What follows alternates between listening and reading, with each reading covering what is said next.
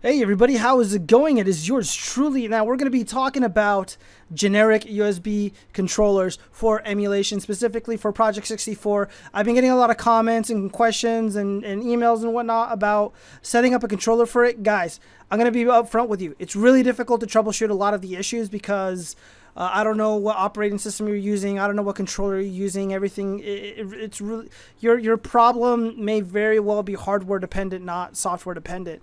Uh, and if it is software dependent, uh, I, am going to need a, little bit more information to, to help you out. But even then, it's really difficult for me to help you guys out. So let me just do this video really quickly and hopefully give you uh, some pointers, some information. So first off, uh, I had some videos from a while ago about Project 64, um, about setting up emulation, uh, you know, to, to set, setting up your emulator to game online.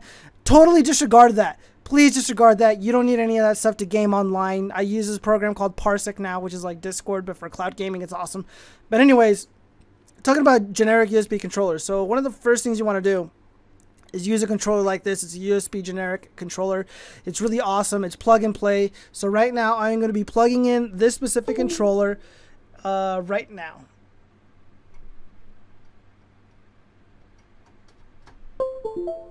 Okay, so you're going to go ahead and download Project 64 if you don't already have it. And uh, I have it open right here. So before you get started, you're going to go ahead and configure your controller plugins. Oops, I mean I lied. You're going to go ahead and go to settings, check out plugins, input uh, controller plugin. So input means like what what is, what is the device you're going to be using to uh, control the game that you're going to be emulating. So you're going to get two options. You're going to get NRage for PJ64 or NRage's direct input 1.61. So these are the only two you should see. This AQZ NetPlay plugin, totally disregard this.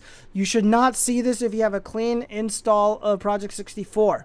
I mean that. Uh, so this is what I generally use. It's perfect. So I'm going to go ahead and apply, hit OK. So I'm going to go ahead and go to options. I'm going to go ahead and uh, go to control, configure, plugin. You do not have to do this every single time you fire up your emulator. Uh, you really just got to do it once.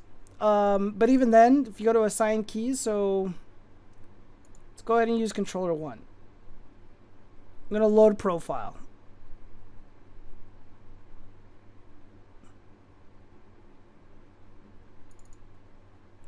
All right, so this should be my, I'm going to use the analog stick. All right, this seems to be uh, configured properly. So this is how you would set up your controller, guys. So the D-pad, uh, um, I'm gonna go throw, throw up an image of what the D-pad looks like.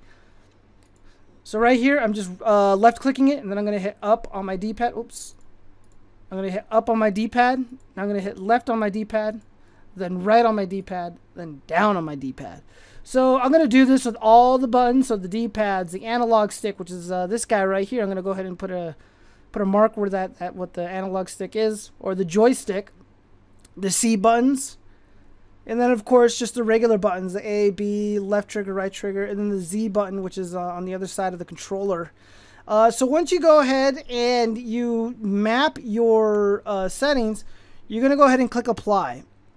However, uh, you can also save your profile and name it to whatever you'd like. So this will be like, you know, the bad dudes, um, uh, N64 controller. And then maybe a friend comes over and they're using their different uh, USB controller. And maybe it's not the exact brand, so you would want to go ahead and uh, save a profile for that specific user and for their specific product.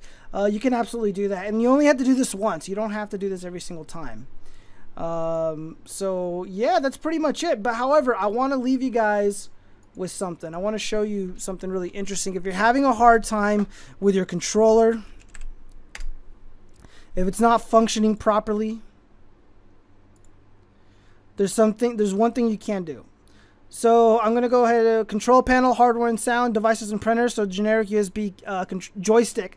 So that's what we're using to uh, to play my, my, my N64 game. So I'm going to go ahead and right click. I'm going to go to game controller settings.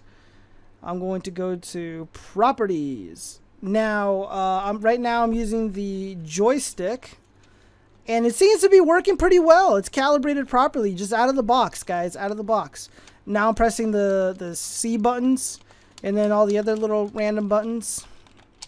And then uh, here's the D-pad.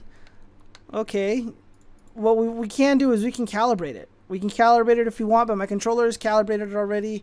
Just follow the steps. It's really easy. And your controller should be working properly if you're having a configuration or, or an input issue. Um, so yeah, that's really all I wanted to show you guys. Hopefully all this information was helpful. Um, it was straightforward. And if you got any questions, please let me know. But like, it's really difficult to troubleshoot a lot of these problems.